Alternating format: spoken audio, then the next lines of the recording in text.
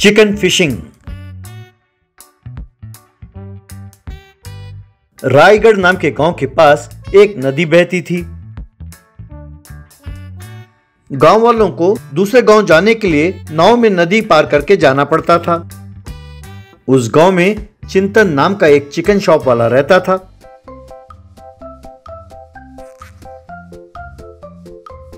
चिंतन हर रोज मुर्गियाँ खरीदकर नाव में लेकर आता था। जैसे ही नाव नदी के बीच में पहुँचता कुछ बड़ी मछलियाँ उछल कर आकर उन मुर्गियों को अपने मुँह में दबोच कर फिर से नदी में चली जाती चिंतन परेशान था कि वो क्या करे एक दिन चिंतन अपनी पत्नी श्वेता से "हम्म, इस गाँव में चिकन का धंधा करना एकदम बेकार है यहाँ मैं हर रोज लोगों को कम चिकन बेचता हूँ और ज़्यादातर चिकन तो वो मछलियाँ खा जाती हैं। ये मछलियाँ भी बड़ी अजीब हैं।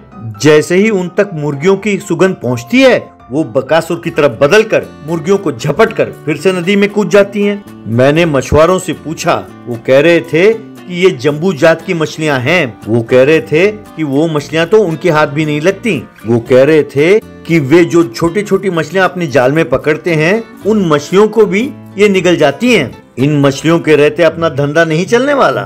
इसीलिए मैं सोचता हूँ कि हम दूसरे गाँव चले जाते हैं।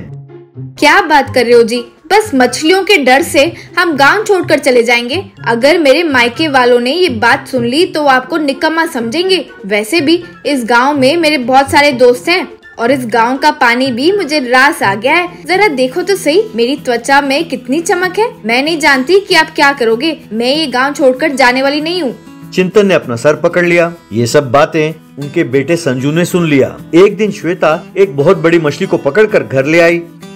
अजी, सुनो तो सही। कहते हैं कि ये मछली बहुत ही अद्भुत है। कहते हैं, जब ये गहरी नींद में हो, तभी मछुआरों के हाथ लगती है। कहते हैं, इसके बस एक ही कांटा है। इसका स्वाद भी एकदम मटन जैसा होता है। मैंने इसे हज़ार रुपए में खरीदा है। बस यूँ समझो कि अगले चार दिन तक हमारे घर में दावत ही दावत है।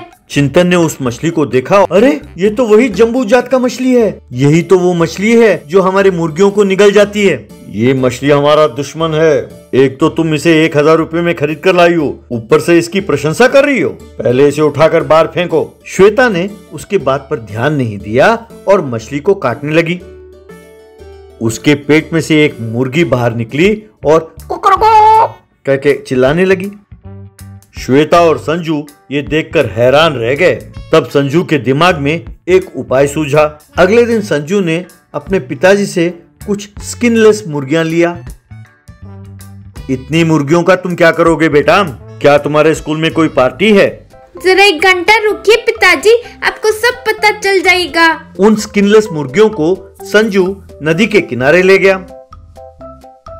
कुछ लकड़ियों को उसने कांटे लगाए।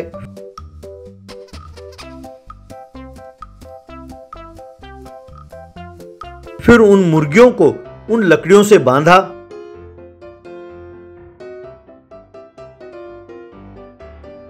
उसने एक लकड़ी उठाया और नदी के ऊपर रखा। मुर्गी के सुगंध से एक जंबू जात की मछली पानी के ऊपर उछली।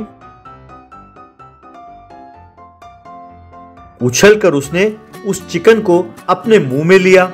इस तरह उस लकड़ी में रखे कांटे में उसका मुँह फंस गया।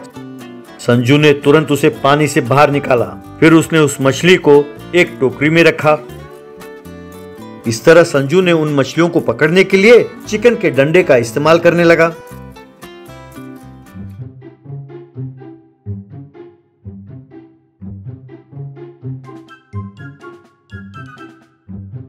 वो मछलियाँ आकर उन कांटों में फंसने लगी। उन मछलियों को संजू टोकरियों में भरने लगा।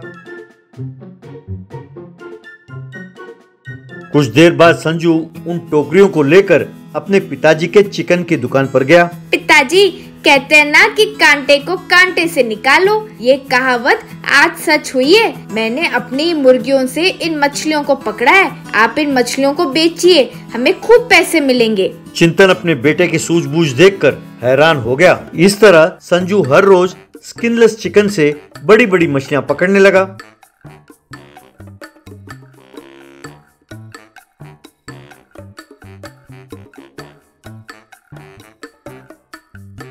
उन मछलियों को मार्केट में बेचकर चिंतन खूब पैसे कमाने लगा।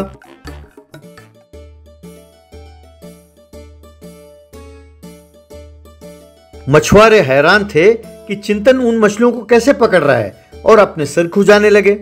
यूँ चिंतन हर रोज अपने नाव में मुर्गियाँ लेकर आने लगा। जब बीच नदी में मछलियाँ उछलकर उन मुर्गियों को निगलने लगी